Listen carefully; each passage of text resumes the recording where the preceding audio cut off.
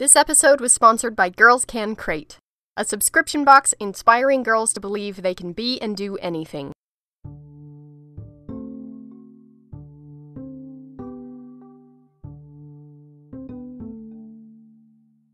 Hi, Katie. Hi, Olivia. So, how much do you know about the Mexican American War? Oh. Um, as in the war over the western states and all? Yes. Yeah. Oh, a bit. I knew pretty close to nothing Yeah. about the Mexican American War, That's not really a common part of our history. which is ridiculous because you and I grew up in the part of America that was Mexico Yeah. until the Mexican American War. Yeah.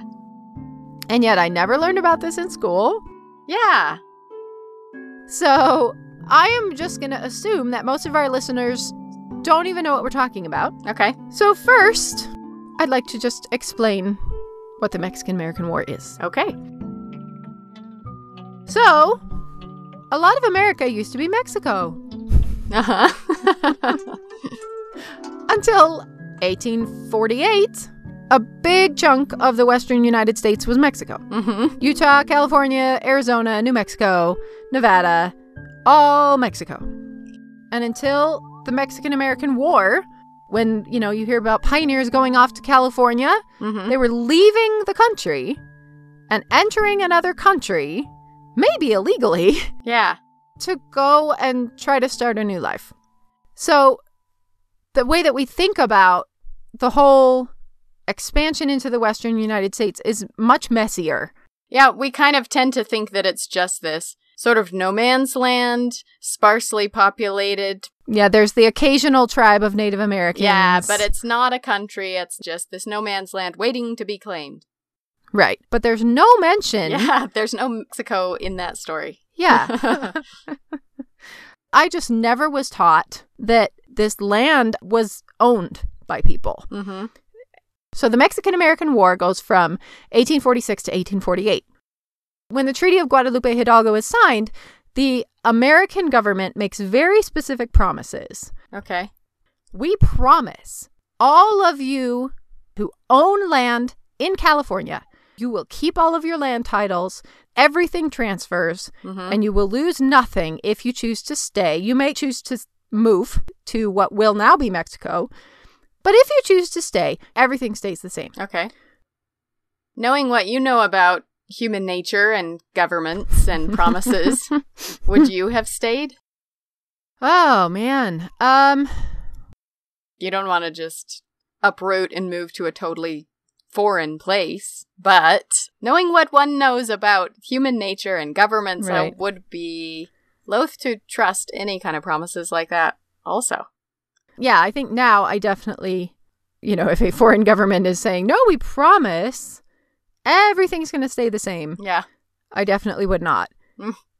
However, I think the same narrative that I didn't know keeps feeding back in of, well, why don't they just move back to Mexico? Mhm. this is where they've lived for four generations. Yeah. You know, uh, most of us in this time period of America don't have four generations who have lived in one ranch, one area, one home. Mm-hmm. And so I really don't think I can understand that level of attachment and commitment to what do you mean just leave? This is my home. Yeah. Also, they're really wealthy. Most of the people who own land, they're nobility. You're not just saying, well, just leave and go somewhere else. You're saying abandon 10,000 acres of oceanfront land Yeah. and move to another place that you haven't been. Yeah. So many, many people stayed, including the family of the woman we're talking about today. Hmm. Surprising to maybe no one who knows anything about history that very quickly those rights are not respected and none of the land titles transfer and people spend decades Yeah. fighting for the rights that were guaranteed in this treaty. Mm-hmm. I'm Olivia Meikle, And I'm Katie Nelson. And this is What's Her Name? Fascinating women you've never heard of. So, the woman we're talking about today is named Maria Ruiz de Burton, and she was the first Mexican American to publish in English. So, to learn about Maria Ruiz de Burton, I talked to Dr. Maria Carla Sanchez. I'm Maria Carla Sanchez. I'm an associate professor of English and of women's studies at the University of North Carolina in Greensboro. When I was writing my dissertation, I was trying to just learn everything that I could learn about 19th century women writers. You know, grab books off the shelves of the library. And I found her books, which had just been republished. And I went to talk to one of my advisors. And when I said I checked out two novels by Maria Amparo Ruiz de Burton, he said, Who? So he immediately gets up and he starts looking at anthologies and a dictionary of American women writers. And finally, he was like, Maria, you, you have found someone who is very new to me. I loved her novels from the get go. She's not really a lovable figure. Mm. And I think that's always in a kind of uh, ornery way drawn me to her. She lived in California? She was born in California. She's the granddaughter of the governor of San Diego now. Oh. What we know about her childhood is that um, she would have been very well educated, probably surpassing what a lot of people, whether they're Latino, not Latino, mm-hmm. would have had at that time. So they were an upper middle class to upper class family. Okay. They own what is now essentially all of San Diego County. Wow. There were just two small, fairly plain ranches on that land. So, land rich, but cash poor, but also socially really well connected. A former governor, you've got military commanders in her family. Just like the descendants of European immigrants in America. Exactly, yeah. The Californios' ancestors came over to 300 years previous and had exactly. been the elite classes ever since. Just like in America. Yeah, so they're very firmly established. You know, we think of the West and the frontier as being this rough and tumble place, but the social calendar in California looks very similar mm. to the social interaction happening on the East Coast. Right. And Europe itself. So she had a, a pretty comfortable upbringing. And then when she was in her teens, the US Mexico War started.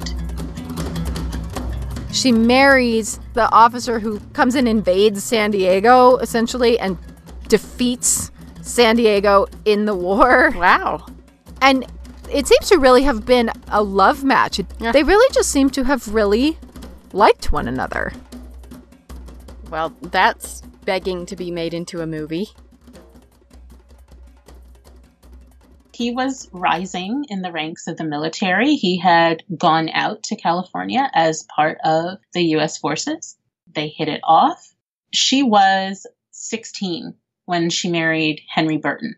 And she was described as being absolutely beautiful. She's described as beautiful, like so often, almost as if she's one of her own heroines. The moon was shining brightly upon the bottom plain. The gentle breeze felt lightly the features of the slain. And they can actually talk and so you know there they go. They're they're getting married and they have her family's blessing. The only hiccup turns out to be that he's protestant and she's catholic.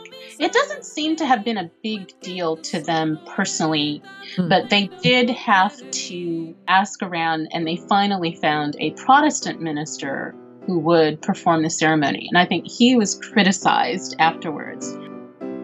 She cast a look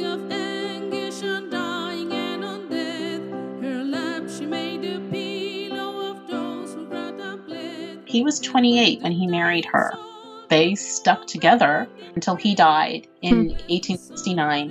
He contracted malaria during the Civil War and eventually died of complications.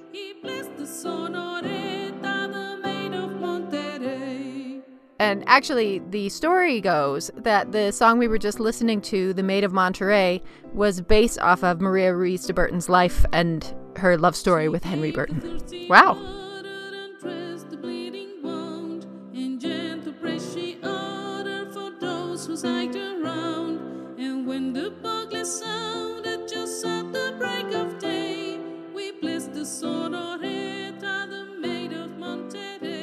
So she marries this soldier, and that means she ends up with a foot in both worlds. Yeah.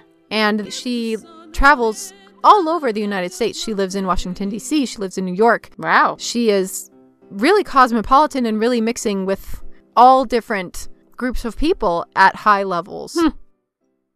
He eventually became a brigadier general. So she had an opportunity to meet lots of people.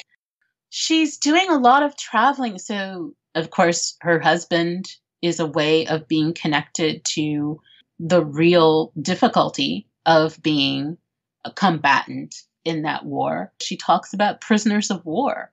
Um, She was horrified by what the prisoners of war on both sides went through. And she has a character uh, who languishes in prison because he's made an enemy of someone in the government who just removes his name from the list of prisoners to be exchanged. So she's in the thick of it. That's one of the things that her marriage allows her. It's almost as if she can be a spy and then write her account of what she sees. And I love that about her. There's really no loyalty to anyone other than the immediate society in which she was raised. She definitely saw herself as Spanish. And this is an interesting distinction that I also think we don't talk about Hmm. during this time period, especially that in Mexico there were two very distinct groups those who saw themselves as Spanish Right. and those who see themselves as Mexican and are seen as racially mixed, whereas the Spanish see themselves as European and as Spanish, Right. not as Mexican. They're the conquerors, not the conquered. Exactly. Yeah.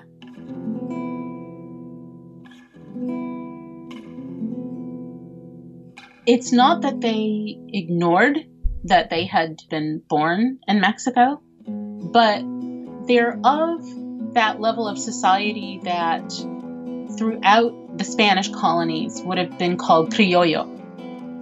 People who are of Spanish ancestry but born in the Americas.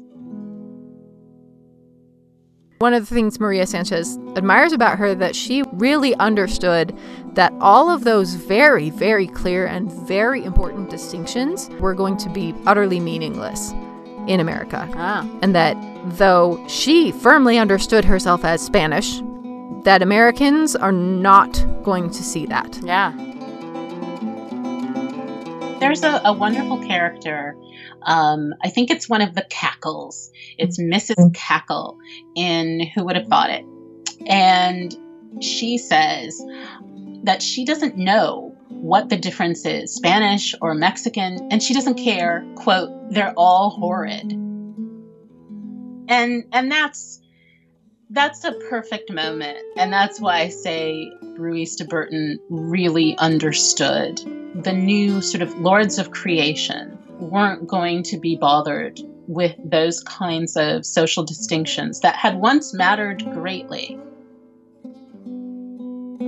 I actually feel a little sorry for her, even though I don't think my family ever had anything like they had a little farm somewhere in Mexico. And now let's pause for a word from our sponsor.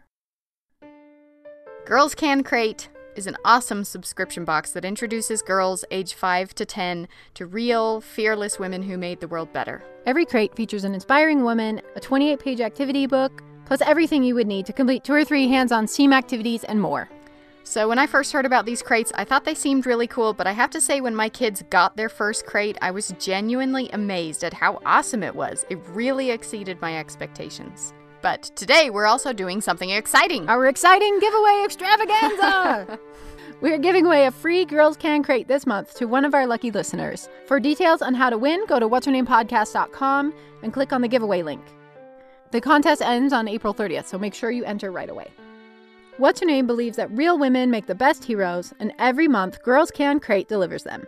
Girls Can Crate, C R A T E dot com, and use the code her name to get 20% off.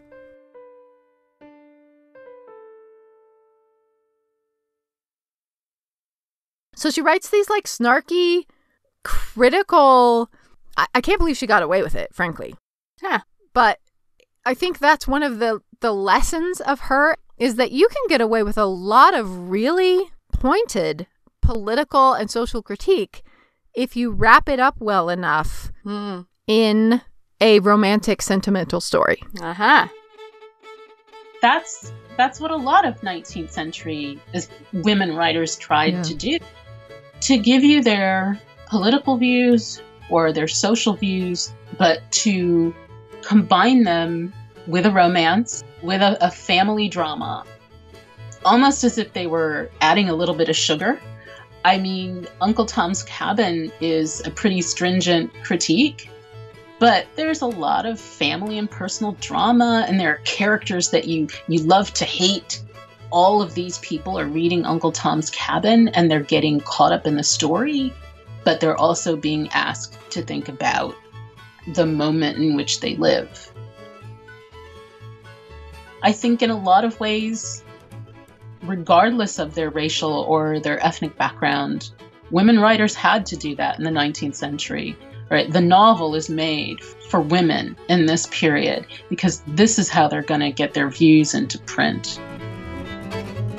You know, I always wonder how much more effective that may have been. You know, the the people who are never going to read a critique of the Mexican American War or policy in the in the new frontier might read this and then start to think about it. Their views have shifted without them being aware that that happened. Exactly. I mean, these are nice people, right? I think in some ways it's just human to say that bad things shouldn't happen to nice people. Yeah. Your reader starts to say, I don't like why these bad things are happening to these nice people. She's not an Emily Dickinson type, not even a Louisa May Alcott type.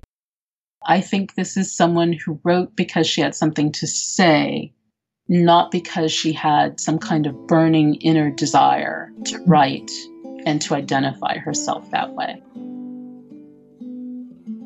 When I look at somebody like Emily Dickinson, I see someone who knows exactly how good a writer she is. I think Woolf knew exactly how good a writer she was. I don't think Ruiz de Burton had any sense how talented she was. Those novels just sound like your crazy aunt, and your crazy aunt who is oddly, absolutely on target mm-hmm. about a lot of people and a lot of things. You know, when she describes the family called the Cackles, I mean, first of all, think of that as a name, mm-hmm. Cackle. They either wind up getting wonderful things that they are completely undeserving of, like fame and fortune through the Civil War, or they just wind up being totally okay, right? Nothing touches them. So the people who cackle are the people who win.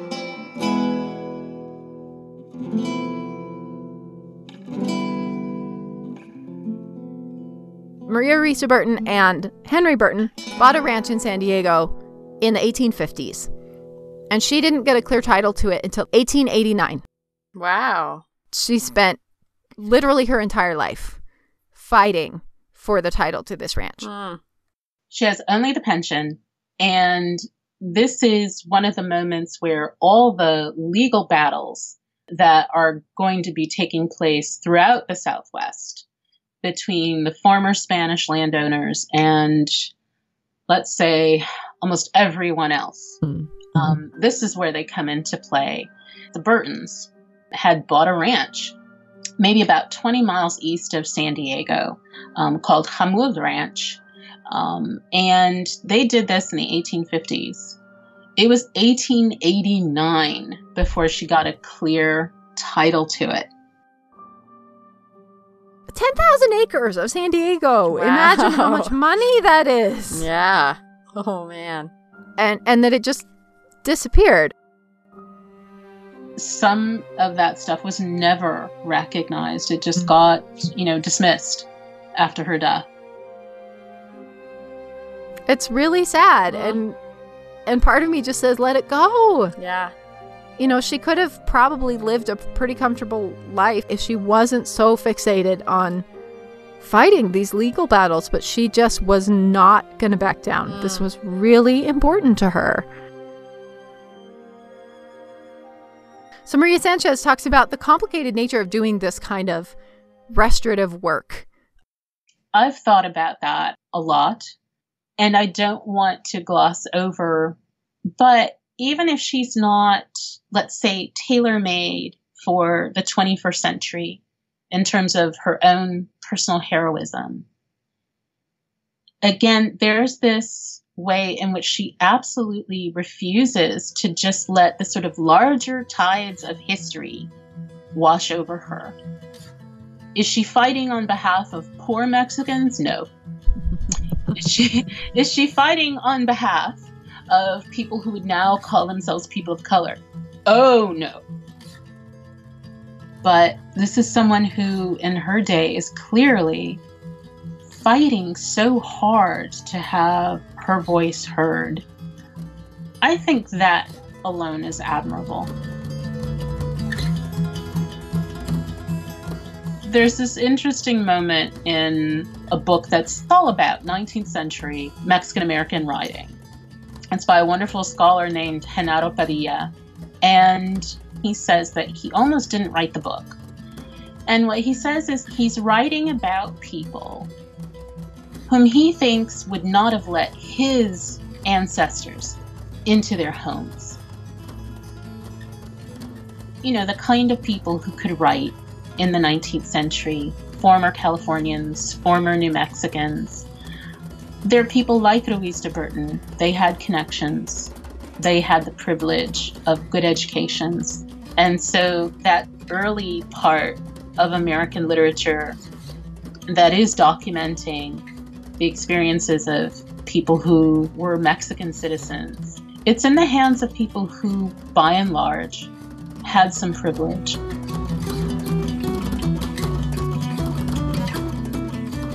There are too many women in the 19th century who didn't even get the chance to be that, who didn't get a chance to make even one business venture, who didn't get a chance to travel anywhere, let alone all around the country.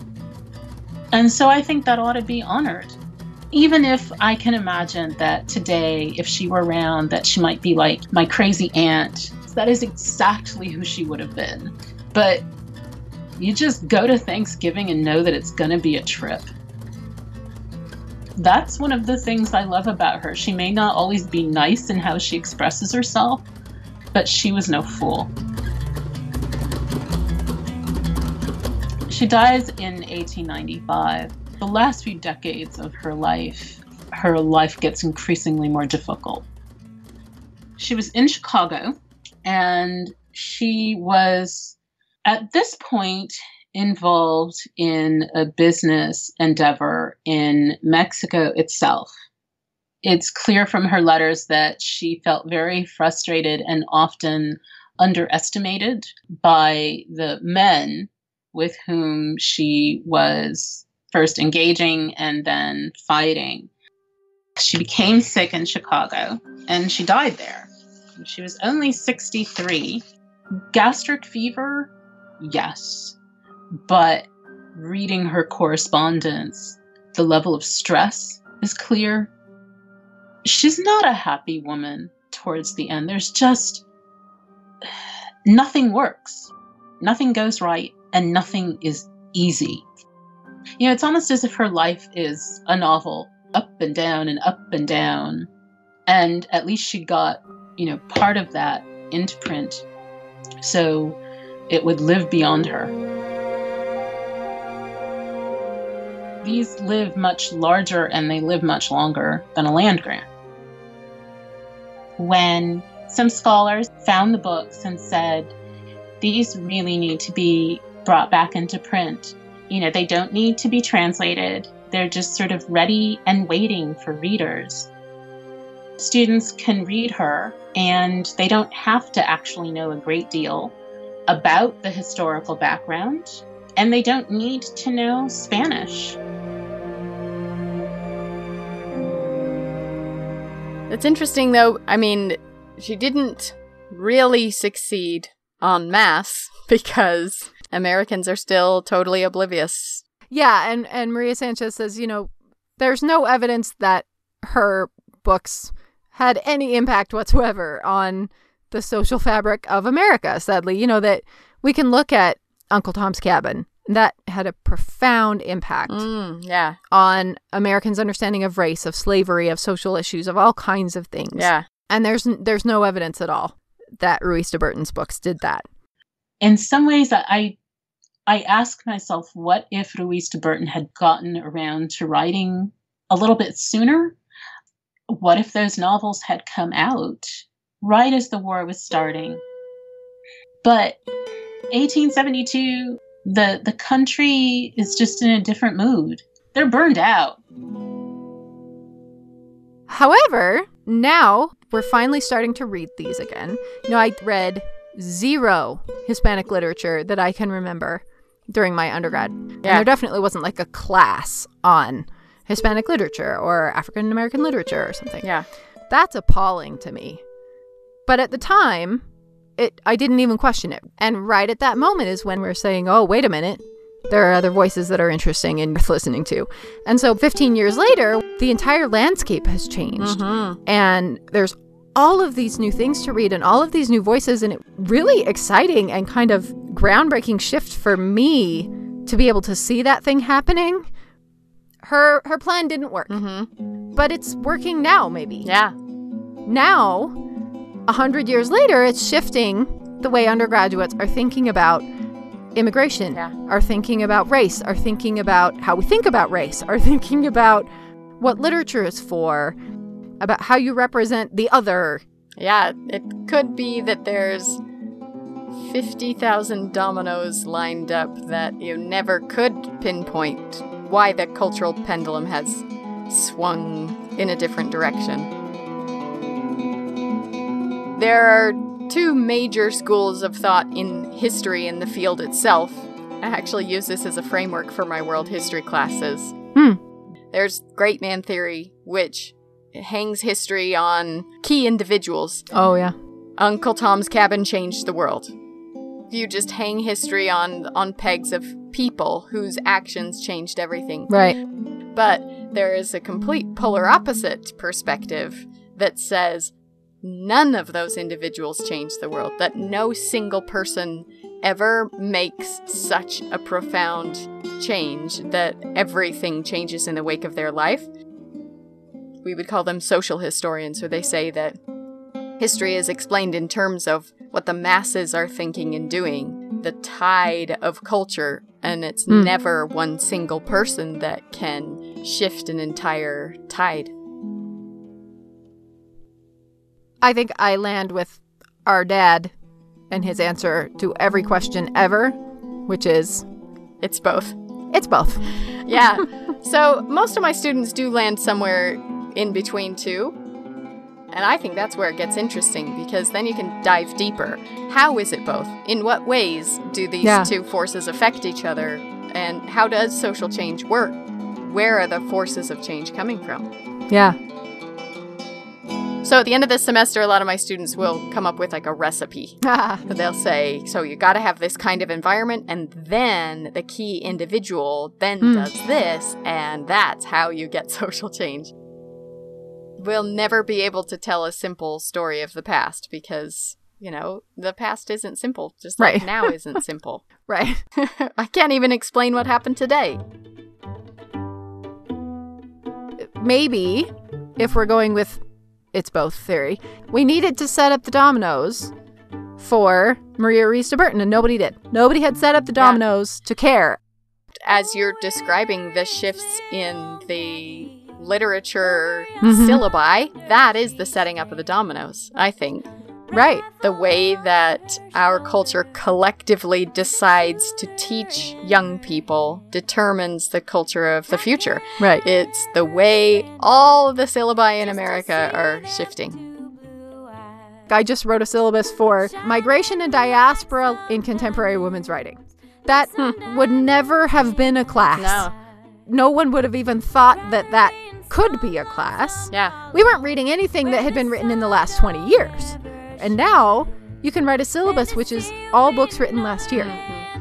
And that that's considered worthy of paying attention to. Yeah. And so everything's shifting around and and you don't know when the domino is going to fall and where it's going to go and what's going to happen. And that's what's exciting. Yeah. You get excited about how are we going to tell the story about 4,000 years ago this year? And I get really excited Yeah. about we've only had two African writers that we have read in the last 50 years in America. And maybe this is the year that we start to read 12. Who will they be? Nobody can tell. will it be me that picks the winners? it's a bracket. Awesome. What I'm saying is, I'm looking forward and you're looking back.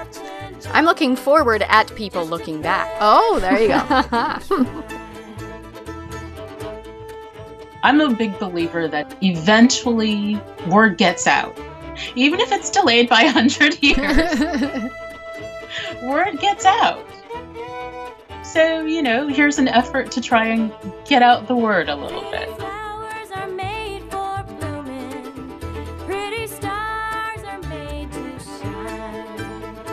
If you enjoyed this episode and you'd like to support more episodes of What's Her Name podcast, please visit our website at what'shernamepodcast.com and click donate. If you'd like to learn more about Maria Ruiz de Burton, there are pictures, links to her novels, and to Maria Sanchez's wonderful books, and much more information on our website at what'shernamepodcast.com. Our theme song was composed and performed by Daniel Foster Smith. Music for this episode was provided by Ana Laura Allende, the Earth String Band, Katie Davis Henderson and Fiddlesticks, Marc Nelson, and Jeff Cuno. You can also follow us on Instagram, Twitter, and Facebook, where we post lots of photos each week. If you enjoyed today's episode, please subscribe wherever you get your podcasts. And if you would take a minute to leave us a review on iTunes or wherever you get your podcasts, it makes a huge difference in our ability to reach new listeners and bring you more women making history. This episode was edited by Olivia Meikle, and What's Her Name is produced by Olivia Meikle and Katie Nelson.